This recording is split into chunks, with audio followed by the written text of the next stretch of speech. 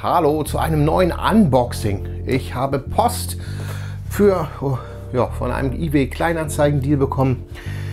Das ging um Transformers, klassische Transformers. Um welche, das seht ihr gleich.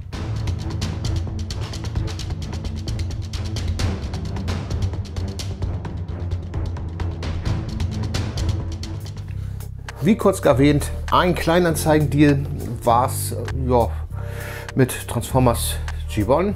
Ähm, ich muss dazu sagen, es war eine Figur bisher nur in dieser Anzeige ähm, eben abgebildet. Ich habe die, äh, was habe ich, äh, war angeboten, 35 plus Versand und ich habe einfach gefragt, wie wäre es mit 35 ähm, inklusive Versand. Da kam plötzlich die Sache, ja, warum nicht 30 inklusive Versand? Sage ich auch nicht nein. So, und allgemein, ähm, die Person hatte dann noch einige Mask-Sachen reingestellt. Da habe ich jetzt nicht zugegriffen. Die waren ja ordentliche Preise. Also es waren keine, keine Schnäppchen, es waren aber auch keine Sammler-Höchstpreise. Es waren wirklich angebrachte Preise. Aber egal, da habe ich dann nicht, nicht zugegriffen, aber ich trage trotzdem, gibt es denn noch weitere Transformers-Figuren? So, und da wurde mir gesagt, ja, es gibt noch einige. Da habe ich jetzt mal so ein Konvoltbild bekommen. Da waren einige interessante Figuren dabei. Eine, die ich mich noch interessierte, ist hier jetzt drin. Ähm und ein paar weitere, unter anderem eine ganze Reihe Pretenders waren dabei, aber die wollten doch schon Preise haben, die schon teilweise den Wert überstiegen. Ah, sicherlich war da ein, zwei Figuren, eine, nee, eine dabei, die relativ selten ist und die Zustände waren sehr gut. Das muss man dazu sagen. Also die waren wirklich sehr gut und vollständig.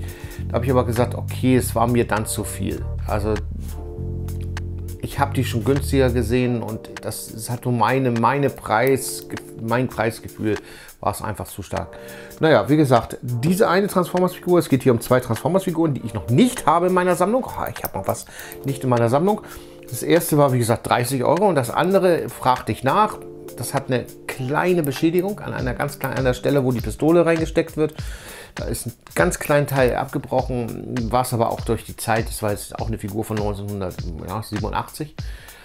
Ähm, ja, wollte man 20 Euro. Also habe ich im Endeffekt 50 Euro für den ganzen Deal bezahlt und dann schauen wir uns doch mal nach, wie es angekommen ist. Das Paket, ähm, es wirkt sehr locker. Ich hoffe, es ist auch verpackt und nicht nur einfach reingeworfen im Karton. Das wäre sehr schade. Deswegen machen wir mal einfach auf. Ich weiß jetzt gar nicht, wie das hier verpackt ist. Hier ist es. Ah, hier ist es. Könnt sehen, noch sehe ich gar nichts. Und ja, interessant. Einmal ein kleines Paket. Das wird der erste sein. Und hier kommt der zweite. Der für 20 Euro. So.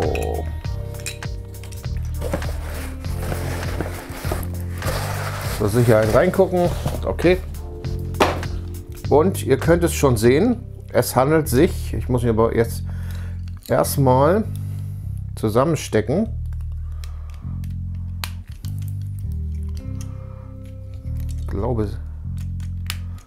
So ist er.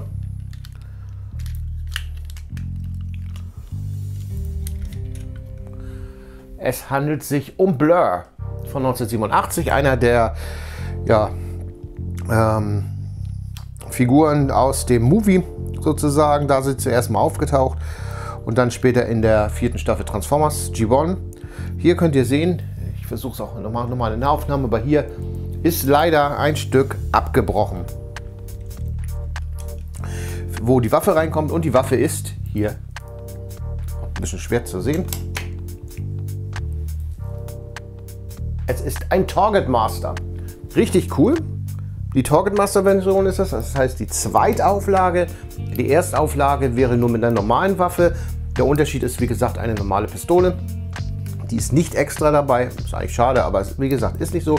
Und der Unterschied ist, dass die Hände und auch hier der Nüpsel, da kommt die Waffe auch rauf, etwas größer ist. Denn ähm, der Griff oder die Pistole vom Target Master ist eben halt ähm, ja, etwas größer.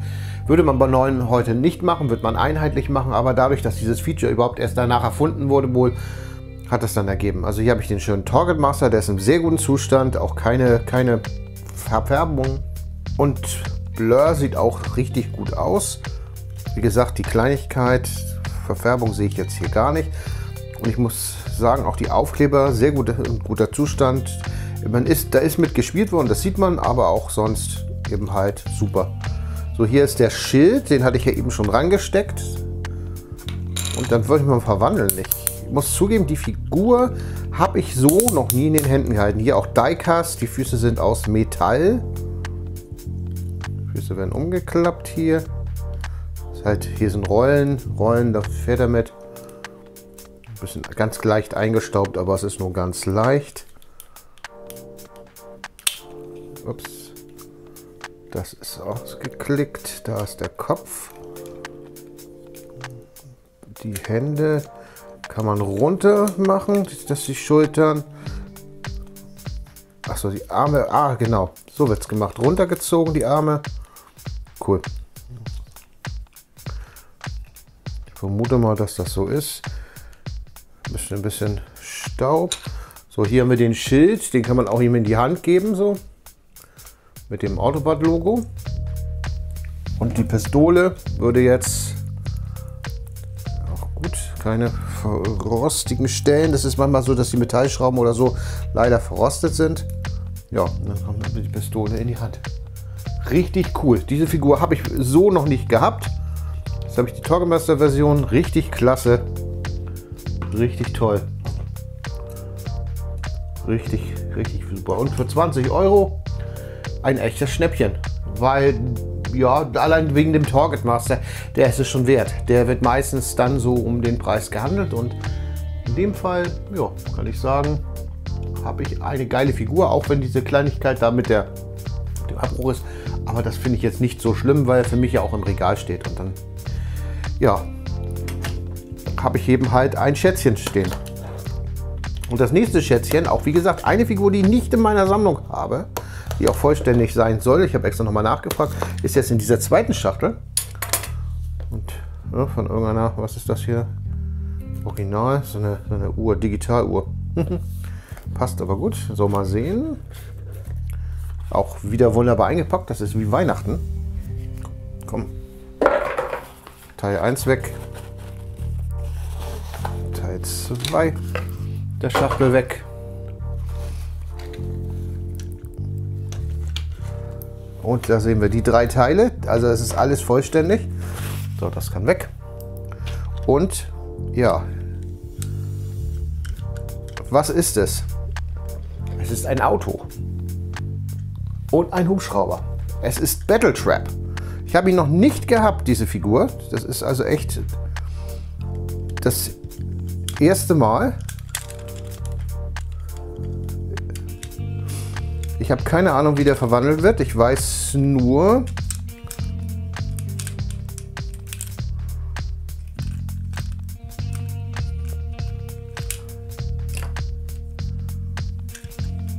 Was geht runter? Die beiden verwandeln sich ja in eine Figur.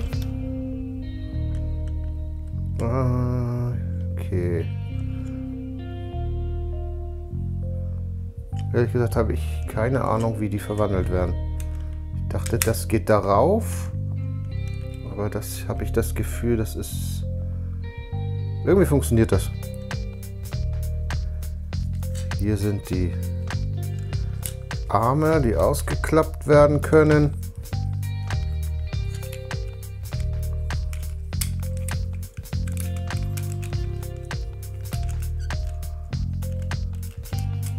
Da rein. Hier sind die Arme und hier ist die Kanone, die irgendwie hinkommt. Ich habe das noch nicht so raus.